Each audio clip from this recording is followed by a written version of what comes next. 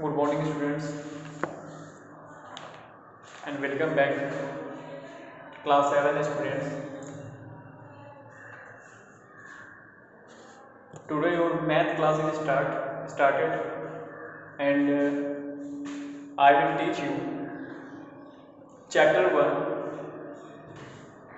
integral numbers इसमें first topic है आप लोगों का इंटीग्रल नंबर्स में।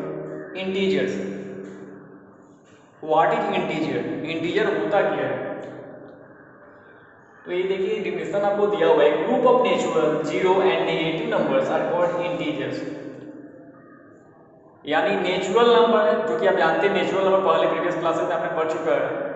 Natural number is called counting numbers यानी counting numbers one two three four five zero and negative numbers are called integers for example two thousand one hundred seventy five minus three hundred twenty zero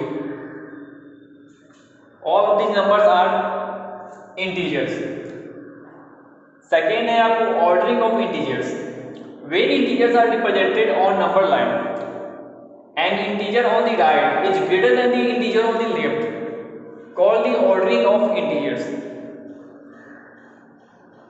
यानी ordering of the integer का मतलब आपको ये हुआ कि जब integer को हम नंबर लाइन में रिप्रेजेंट करें और ऐसे रिप्रेजेंट करें कि राइट साइड का जो इंटीजर है, वो हमेशा बड़ा हो लेफ़्ट साइड से। राइट साइड का जो इंटीजर है, वो हमेशा लेफ़्ट साइड से बड़ा हो। तो उसको कहते हैं, वैसे फॉर्म में जब भी सिचुएट रहेगा तो उसे हम ऑर्डिंग ऑफ़ इंटीजर कहते हैं। और नंबर लाइन के बारे में आप लोग साथ प्रीवियस क्लास में पढ़ चुके होंगे। नंबर लाइन को रिप्रेजेंट करने का तरीका भी पढ़ चुके होंगे, जो कि आज फिर एग्ज़ाम्पल में आपको बताया जा रहा है। देखिए नंबर लाइन को रिप्रेजेंट कैसे करते हैं? आपको ज़ीरो के लेफ़्ट साइड में निगेटिव नंबर्स रहते हैं और ज़ीरो के राइट साइड में पॉजिटिव नंबर्स रहते हैं। तो इसी को, इसी ऑर्डर में अरेंज करने को हम बोलते हैं ऑर्डिंग ऑफ़ इंटीजर्स आप जानते हैं कि ऑफ़ इंटीजर में ज़ीरो के लेफ़्ट साइड में जो नंबर होता है वो ग्रेटेस्ट निगेटिव इंटीजर होता है। सबसे बड़ा निगेटिव इंटीजर वही है। यानी माइनस वन आपको सबसे बड़ा निगेटिव इंटीजर है। सबसे छोटा पॉजिटिव इंटीजर बोला जाए तो आपको क्या होगा? तो ये होगा वन सबसे छोटा positive integer smallest positive integer is one and you know zero is neither positive nor negative zero जो है, ना ही पॉजिटिव है, ना ही नेगेटिव कोई साइन ही नहीं होता है ज़ीरो थर्ड है एडिशन ऑफ़ इंटीजर अब बात आई आपको कि अब इंटीजर को ऐड कैसे करते हैं? ऐड कैसे करते हैं इसका? इसके बारे में इसको समझना है। ऐड करने या सब्सट्रैक्ट है वो आप समझ जाएँगे, इसी में आपको दोनों है।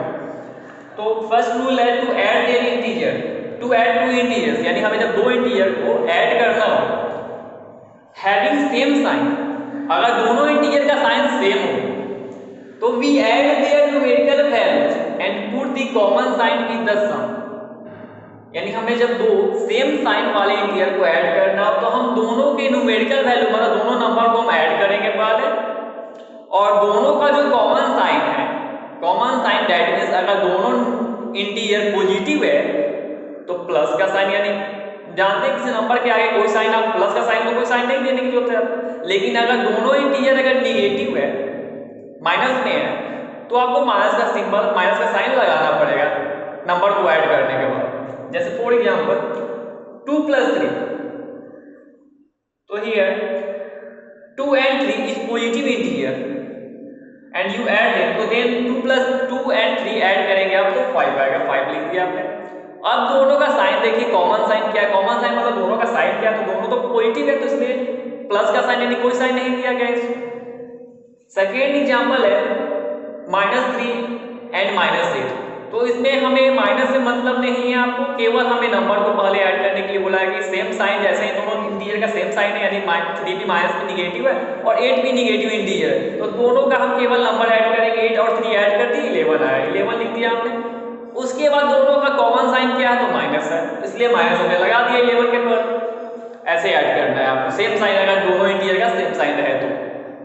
सेकेंड रूल है to add two integers having different sign अब दो इंटीजर को हम ऐड करेंगे। वैसे दो इंटीजर जिसका साइन डिफरेंट हो, एक प्लस हो, एक माइनस हो, या एक माइनस हो, एक प्लस हो। तो we subtract their numerical value जब साइन डिफरेंट हो तो हम उन दोनों के न्यूमेरिकल वैल्यू को ऐड ना करके सब्सट्रैक्ट करेंगे and put the sign of the greater integer और जो बड़ा वाला इंटीजर है, उसका साइन हम पुट करेंगे सब्सट्रैक्ट करने के बाद। जैसे यहाँ पे नाइन को ऐड करना है माइनस टू के साथ। में तो देख रहे हैं नाइन पॉजिटिव इंटीजर है माइनस टू जो माइनस टू जो है, ये तो निगेटिव इंटीजर है। तो इसलिए हम इसको करेंगे subtract numerical value that means 9 और 2 9 से में से 2 गया तो 7 एंड अब इसके बाद देखेंगे कि दोनों का ग्रेटर वैल्यू कौन है? 9 ग्रेटर है या माइनस टू ग्रेटर है? तो आप जानते हैं कि निगेटिव पॉजिटिव जब कंपेरिजन करना तो हमेशा पॉजिटिव इंटीजर ग्रेटर होता है। तो इसलिए 9 आपको ग्रेटर है। तो इसका साइन क्या है? तो प्लस है इसलिए। प्लस का साइन 7 के पहले इसका मतलब कोई साइन नहीं लगाना है। 7 ही रह गया। सेकेंड एग्जांपल है। माइनस फिफ्टीन एंड टू तो यहाँ आप देख रहे हैं कि माइनस फिफ्टीन ये निगेटिव इंटीजर है। और टू जो है, ये पॉजिटिव इंटीजर है। तो आप देख रहे हैं माइनस फिफ्टीन निगेटिव इंटीजर और टू पॉजिटिव इंटीजर है।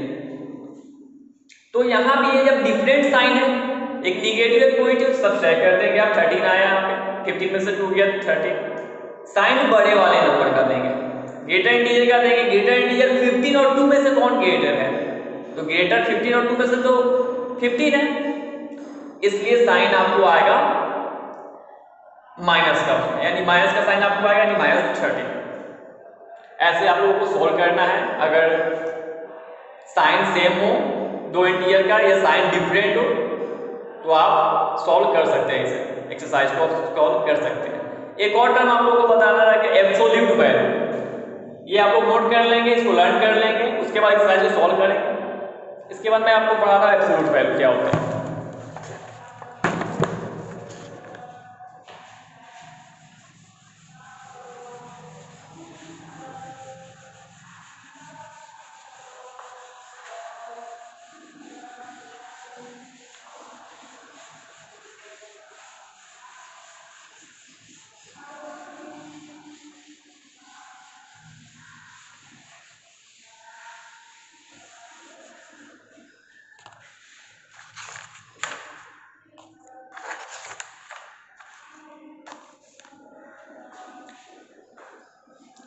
पहले आप लोग देखिए एब्सोल्यूट वैल्यू का साइन क्या होता है।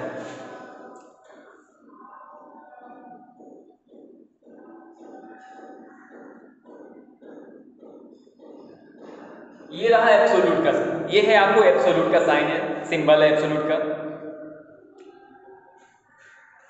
अगर आपको एब्सोल्यूट के अंदर में कोई नंबर दिया हो, जैसे यहाँ मानिए आप माइनस थ्री दिया हुआ है। तो इसका वैल्यू जो होगा, बोला जाएगा एब्सोल्यूट वैल्यू निकालिए माइनस थ्री का। तो इसका एब्सोल्यूट वैल्यू थ्री हो जाएगा। अब एब्सोल्यूट वैल्यू थ्री क्यों हो गया? तो एब्सोल्यूट वैल्यू क्या कहते हैं? पहले ये डिफिनेशन समझिए एब्सोल्यूट वैल्यू का। The numerical value of an integer without its sign is called its absolute value definition मैं यहाँ मेंशन कर दे रहा हूँ।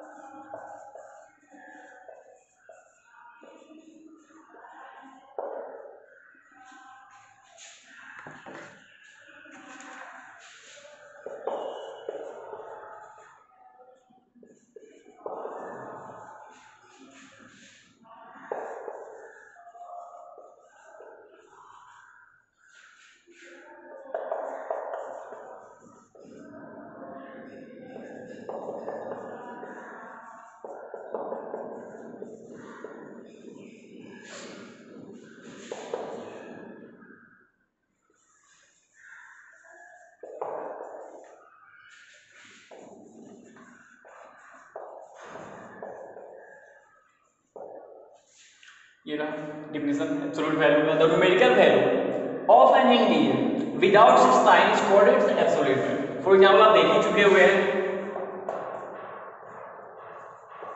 माइनस थ्री का एब्सोल्यूट वैल्यू थ्री हुआ। क्योंकि थ्री कैसे हुआ? तो यहाँ पे बोला गया जैसे डिफिनेशन में ही कि आपको न्यूमेरिकल वैल्यू ऐसा न्यूमेरिकल वैल्यू जो बिना साइन का हो। साइन नेगेटिव था इसको साइन इसका हट चुका हुआ है। माइनस साइन हटा दिया गया इसलिए आपको। नेगेटिव सॉरी आपको माइनस थ्री का एब्सोल्यूट वैल्यू थ्री हो गया, बिना साइन अगर वैल्यू इसके अंदर आता, एक से ज़्यादा नंबर आता, तब इसका क्या वैल्यू होता है एब्सोल्यूट वैल्यू क्या होता तो वो भी आप देख लीजिए जैसे ये तो फ़र्स्ट एग्जांपल था सेकेंड एग्जांपल लेते हैं. दो नंबर वाले. अब यहाँ देखिए आपको, अब दो इंटीरियर टू इंटीरियर्स आ गए अब आपको रूल फॉलो करना है, जो मैंने रूल बताया हुआ है. वैसे टू इंटीरियर जिसका साइन सेम हो। साइन सेम हो देखिए सिक्स और थ्री दोनों निगेटिव इंटीरियर साइन सेम है। तो साइन सेम है तो आप क्या करेंगे? रूल के अनुसार आप ऐड करेंगे। साइन सेम हो, दोनों इंटीरियर का तो ऐड करते हैं। ठीक है आपने ऐड किया? ऐड करेंगे सिक्स और थ्री नाइन आ जाएगा। और उसके बाद बताया था मैंने कि दो इंटीजर का साइन सेम हो तो ऐड करने के बाद साइन इनका कॉमन साइन लगता है। तो कॉमन साइन दोनों का माइनस है तो माइनस यहाँ लगाएँगे। अब आपको ये सिंगल इंटीजर आ गया। तो जैसे सिंगल इंटीजर आ गया, उसके बाद उसका एब्सोल्यूट वैल्यू फाइंड आउट कर लेते हैं। तो देख ले रहे माइनस नाइन तो उसका एब्सोल्यूट वैल्यू विदाउट साइन यानी नाइन हो जाएगा एब्सोल्यूट वैल्यू जैसे ही एब्सोल्यूट वैल्यू निकालेंगे तो उसका साइन एब्सोल्यूट का हट जाता है। ये बात आप ध्यान रखें। थैंक यू आज आपको आप लोग की क्लास यहीं इतनी रहेगी। और आपका एक्सरसाइज इसके साथ में पिक्चर डाल दिया जाएगा आपको वीडियो के साथ में। उसको आप लोग सॉल्व कर लेंगे अपने फेयर नोटबुक में।